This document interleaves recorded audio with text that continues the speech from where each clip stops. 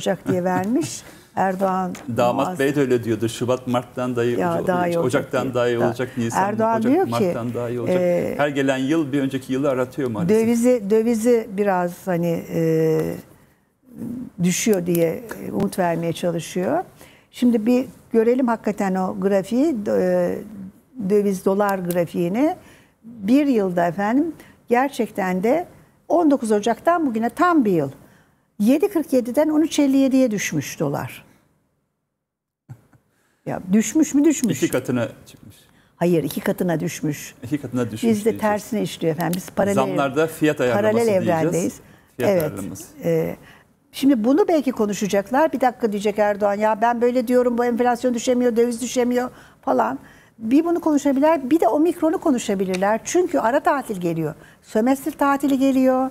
Şimdi çocuklar aileleriyle birlikte tatil yerlerine gidecekler. Belki, e, işte memleketlerine gidecekler dikkat diye belki bunu da konuşabilirler, alarma geçebilirler. Gelelim e, biraz vaktinizi gene alacağım Garapaylan çünkü çok soğuk, fazla soğuk. E, dün gece, e, dün gece e, bu yolda bir görelim. Evet dün gece bakın bu görüntüler yaşandı. Dün gece e, TAG otoyolunda e, binlerce araba, binlerce insan mahsur kaldı. E, Valla şu anda Diyarbakır, Şırnak, Hakkari, Van, Doğu, oralar- Doğu tamamen kar altında. Yani Zaten biz söyledim Biraz tabii. şeydir İstanbul'da kar yağmadan doğuya Hayır, kar yok, yağdı yok, yok. bilinmez Bu İstanbul değil, Azim. Bütün Bir de- Türkiye şu anda kar altında. şimdi Doğu- bak e, pozitif ayrımcılık adına bunu yapma. Neden yapma? Çünkü binlerce kişi mahsur. Doğru. Neredeyse 12 saattir mahsur. Doğru doğru. Şimdi Yok, ben şeyi anlamak istedim. Yani yalnızca Antep değil, bütün Doğu kar altında şu anda. Onu başta söyledim zaten. Evet, evet. Yüzlerce yol kapalı. Şimdi e, o kadar hakikaten e, yol açılamadı ki bakın kara gömülmüş durumda. Kumanya dağıtıldı. Gaziantep vali kumanya gönderdi. Onu da görelim. Kumanya e, sesi var mı bilmiyorum açabilir miyiz? Hı. E, jandarma e, ile çorba bile göndermişler anladığım kadarıyla. E, belki e, seyyar aşeviyle mi bilmiyorum. E, yolda kalanlara e, kumanya gönderildi. Çünkü dün gece yarısından e, işte sabah saatlerine kadar böyleydi manzara. Böyleydi derken değili geçmiş mi? Hayır geçememiş. Bakacağız. E, şimdi Bununla ilgili sabah, bir cümle edebilir tabii, miyim? Tabii. Yani şöyle ki, Daha bakın, konuşacağız zaten bu Karın konuyu. yağacağı biliniyor. Meteoroloji uyarı veriyor. Tabii. Şu Antep'e çok kar yağmaz, aşırı yağ- yağmaz. 10 yılda bir böyle veya Diyarbakır'a 10 yıldır ilk kez böyle yoğun bir kar yağdı. Ama meteoroloji diyor ki yoğun bir kar yağışı olacak. Ne yapar ülkeyi yönetenler? Ya bu yoğun kar yağışına göre hazırlık yaparlar. Belki yola çıkacakları derler ki bu, bu, bu gece bu yolu kapatıyoruz veya tuzlamayı yapmaya hazır değiliz diye uyarırlar vatandaşlar. Ama hiçbir uyarı yapılmıyor. Yani bilime bilim dediğimiz şey meteoroloji ile ilgili. Kar yağacağı belli, yoğun kar yağacağı belli. Ama bununla ilgili valilikler ted- gerekli tedbirleri almıyor, belediyeler gerekli tedbirleri almıyor ve yurttaşlarımız yola çıkıyorlar ve yolda kalıyorlar. Binlercesi mahsur kaldı ve binlercesi mağduriyet yaşadı. Şükür ki insan kaybımız yok yani don olayları söz konusu olmamış. İnsan kaybetmedik ama kaybedebilirdik. Yani bu büyük bir aymazlıktır. Bunun da hesabının sorulması lazım. Yani bölge valiliklerine kar yağacağı biliniyor, bölge belediyelerin kar yağacağı biliniyor ve bununla ilgili tedbirler alınmamış. Şimdi e, diyecekler ki bak bundan bile e, Ama doğru. yönetimlere Elbette çünkü meteoroloji uyarı Elbette, veriyor. hayır, kar yağacak da- deniyor. Sen de tedbirini bakın alacaksın. Gaziantep bu. Belediyesi Kültür Daire Başkanı, Kültür Daire Başkanı öyle geliş güzel biri değil. Hakan Tanrıöver. Ee, hani o da peşin peşin almış önlemini. Ee, diyor ki tweetini bir görelim. Tam da diyor hani e, bu değil arkadaşlar. Ee, hani tam da diyor e, fırsat bu fırsat. Hükümete geçirin Aha, evet, bakalım evet, evet. e, diyor. Gördük onu. Ee, Sildi sonra Şimdi tweetini diyor ki aracında kar lastiği takılı mı yok. Kar fırtınası geleceğini duydun. işten erken çıktın mı yok. Bugün arabayla çıkmayayım dedim mi yok. Bir mahana bahane demek istiyor tabii ki. Bulama da hükümete, belediyelere saydıram. Saydıram. Derdiniz bu diyor. Ben şimdi derdi beyefendiye göstereceğim. Bakın e, Fatma Şahin bile bu, bu şahsın e, başkanı, bu şahsı işe alan başkan. O yaşadı yahu durumu. Kar altında Fatma Şahin gecenin bir vakti işte anlattı durumu.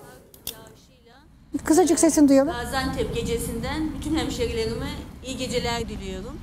Ee, tabii merak ediyorsunuz başkanım durum nedir diye. Ee, hakikaten bütün teknik ekibimizde e, yaklaşık 160 Şimdi durum nedir diye anlattı. Biz valiliğin de bilgilerini paylaştık. Dediler ki işte durum kontrol altında. Zaten hanımefendi de öyle söylüyor. Sabah saat 9. Bir vatandaş videosu aracılığıyla feryat etti. Sabah 9. Bir izleyelim. Sabah 9'da video ile gelen e, şeyi. E, bölgede bulunan bir vatandaştan gelen yeni video durum ciddi diye paylaşmışlar. karesi falan değil buyurun. yani bayağı. Ya, ana yol burası. Ee, En kötüsü bu Ayşenur Hanım. Ana yol. Yani ana yolu hani ara- anladım ara yolları belki müdahale edemezsiniz ama ana yollara araba. müdahale edemiyorlar. Yüzlerce insan bir kişi gelmedi buraya. Bir kişi ne Kızılay geldi ne AFAD geldi ne belediye ne karayolları. Bir de diyorlar ki yok yiyecek dağıttık yok bilmem ne dağıttık battaniye verdik sabaha kadar donduk mazotumuz bitti. Küçük arabalarda çocuklar bebekler var ya. Yok böyle duruyoruz. Böyle bekliyoruz. Bir kişi bile gelmedi. Ee, şimdi e, bir de sabah 9.30'da gelen videoyu görelim. Ee, Demirören Haber Ajansı'nda bir vatandaşla röportaj anlatsın. Buyurun. Nurdağ, Gaziantep mevki. Gaziantep istikametine doğru ve aynı şekilde Osmaniye istikametine doğru tamamen yol kapalı. Hiçbir şekilde yol açılmıyor. Yapılan haberler yalan. 2000 kişi falan kurtarılmadı. Tam 16. saatin içerisindeyiz. Bütün araçlar kara gömülü ve hiç kimse kurtarılmıyor. Görüldüğü gibi araçlar kara gömülü. Hiçbir şekilde yol açılmıyor. Burası Gaziantep sorumluluğundaki Nurdağ e, mevki kömürler kavşağı. Hiçbir yardım hiçbir şekilde gelmiyor. Yapılan haberlerin hepsi yalan. Hiçbir şekilde yol açılmıyor. Araçlar yol açılsa bile kara gömülü. Hiçbir şekilde çıkamıyorlar. Hiçbir yardım ekibi de gelmiyor. 17. saatin içerisindeyiz. Dün 4'ten belli. Hiçbir şekilde yol açılmıyor şuradaki mobesalardan bile görüp de bir tane yardım ekibi şu yan emniyet şeridinden yolu açmıyor. 50-60 santime yakın kar var. Durum bu. Büyük bir aciziyet. Yani vali Utanç verici. e, hani öyle önce işte m, bütün ekiplerimiz yolda diye Fatma Şahin e, anlatıyordu gecenin bir vakti. Tabii yani çalışıyor elbette bir şey söylemiyorum. Ama durum bu. Yani e, bakın saat kaçta geldi en son? E, galiba 10 10'dan sonra geldi. Gaziantep Valiliğinden gelen en son e, açıklama oldu. E, 2800 kişi kurtarıldı. Binlerce kişi mahsur. Yani şimdi durum an itibariyle bu. Şimdi biz bir e, orada mahsur kalan bir yurttaşla bağlantı kurduk.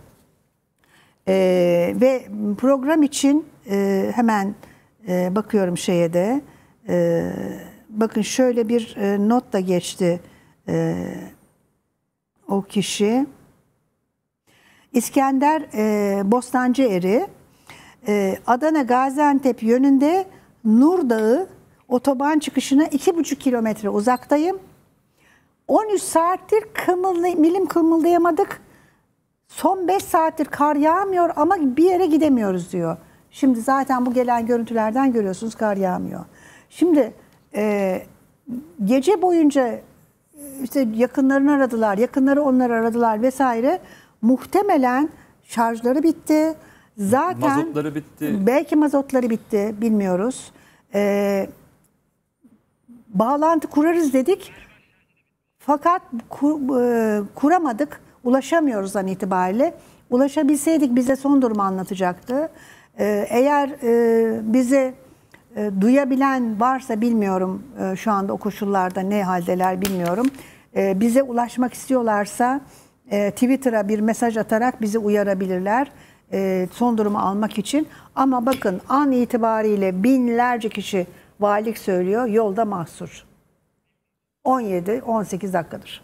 Bir dakika süremiz kaldı. Reklama gideceğiz sonra devam edeceğiz. Şimdi meteoroloji bu konuda uyarı yapmışken böyle bir tedbirin alınmaması büyük bir aymazlıktır Ayşun Hanım. Şimdi e, me- meteoroloji diyor ki yoğun kar yağacak. Siz yurttaşlarınızı efendim Evet. trafiğe bırakıyorsunuz. Kamyonlar, otobüsler, sivil araçlar dersiniz ki kardeşim ben bu yolu ilaçlayamayacağım. Elimde yeterli araç yok. Kar küreme araçlarım yok. Ne yapmam lazım? Yolu trafiğe kapatman lazım o zaman. Ya ilaçlayacaksın, tuzlayacaksın ve bu sayede yurttaşlarımız geçecekler ya da yolu trafiğe kapatacaksın. Yani Rusya'da her gün böyle kar yağıyor. Ama ana caddeler kapanıyor mu? Hayır kapanmıyor. Çünkü meteorolojinin uyarısına göre o yollar ilaçlanıyor ve trafik kapanmıyor. Evet, büyük bir evet. aymazlık, büyük bir sorumsuzluk. Aynen.